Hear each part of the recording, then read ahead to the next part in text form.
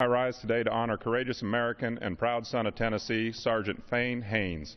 Mr. Haynes of Murfreesboro was only 20 years old when he entered the Army in 1942 at the height of World War II. He served on the front lines of Europe and was one of the first to land on Omaha Beach.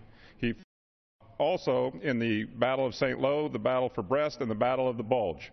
He credits the good Lord for saving his life numerous times in combat. Mm. Sergeant Haynes was eventually captured and spent four months in a prisoner of war camp, but managed to escape, aided by a German Army field map which hangs in his office today. After the war, Sergeant Haynes became a successful businessman, operating the Haynes Brothers Candy Company in Murfreesboro. In 2000, Mr. Haynes switched his business to flags. Known as the Flag Man, he sells thousands of American flags each year. Thank you, Sergeant Haynes, for your service. You truly embody the spirit of the greatest generation. Yield back.